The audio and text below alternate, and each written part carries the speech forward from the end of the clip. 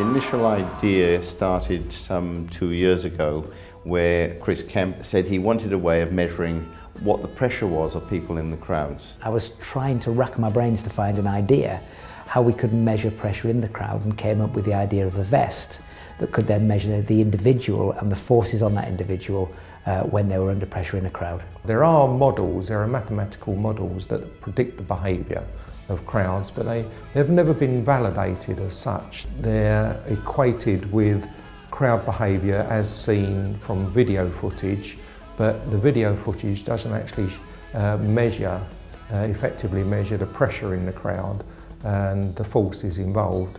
We looked at lots of things to decide where the main pressure was, was on the main torso of the body. So we needed something that would measure the pressure, both front and back, but was dynamic enough to actually show how the system worked within the uh, environment in which it was going to be placed. But um, to measure the pressure between two soft bodies, which is people, appeared quite difficult. First one, we basically used bicycle tubes, various sizes, a couple of plates on either side of the tube. They were pressurized and then they caused a pressure variation on sensors that we built into the tubes themselves. It partially worked, uh, which surprised us because it sprung leaks. It was quite obtrusive. Um, you could see this person standing in the crowd looking like a, uh, a knight in armour. The pressure, pressure measurements we got from it were successful. They were interesting insofar as giving us both pressure and temperature readings and a couple of things came out of that. The temperature variation was very significant because we found that the ambient temperature in the air around about 20 degrees was significantly higher in the crowd, which was over 30 degrees. So there's over 10 degree difference just from people being in close proximity to uh, each other. We then developed a second suit um, because the first prototype was literally just to see if we could get anything out of it, whether the system would work. We developed um, a system that was optimised for measuring the pressure between people. But when we took it to Roskilde, we were uh, thinking there was a 50% chance of it actually um, doing what we wanted it to do to collect the data. I would have been happy if one of the concert sessions had worked, but as it was, every concert session worked. Funnily enough, Jeff said to me afterwards, he said, we weren't sure it was going to work and we're over the moon with the results because it's worked every time. So there's always that. You go out there, you spend all of that money, somebody's subsidising you or funding you, and then you waste it because it doesn't work. Well, in this case, it wasn't wasted because everything worked. We had four different suits in the crowd at different positions in the crowd. One close up on the barrier, one a bit about three uh, feet back from the barrier, um, and the same on, in both of the pens that they hold clouds, crowds close to the band in. The data we got was correlated with the data on the uh, barriers where you've got pressure sensors on the Mojo barriers. So we correlated the data between the two. And we could see it on the video as well. The videos were, were most informative because you could see shock waves in the crowd.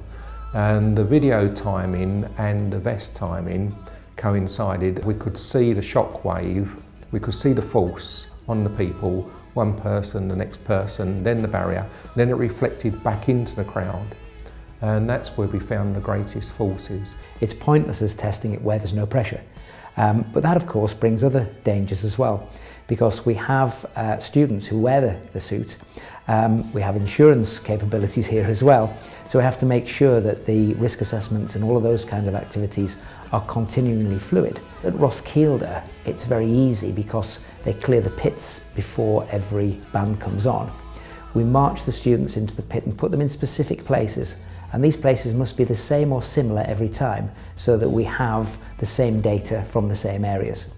So they stand in that area, the pit fills up, we identify that they're there and they have one uh, spotter at the front, watching them continually through there. We also have two um, stewards who are looking at them as well. And we've got the CCTV footage as well, and they're being watched from the CCTV cameras to ensure that if anything does go wrong, they're spotted from that as well. And then a message can go down from the CCTV people to the stewards to say there is a problem. So we've got three ways of ensuring that they're safe. Well, there's a number of uh, uh, improvements that can be made to the vest. The vest can be made um, much uh, less intrusive it can be um, uh, the, the sensors and the pneumatic system can be much smaller. I would like to see it being figure hugging so that people couldn't see the vest underneath the t-shirts that the people who wear the vest in the crowd have on. I think at the moment it's very bulky. It doesn't really detract from it because the way the audience reacts is very different and they soon forget that the vest's in there even if they can see it. Um, but what I'd like to have it is a sort of wetsuit look or neoprene look that when you actually press on it, it gives that pressure reading. The current system we have has validated the measurement system.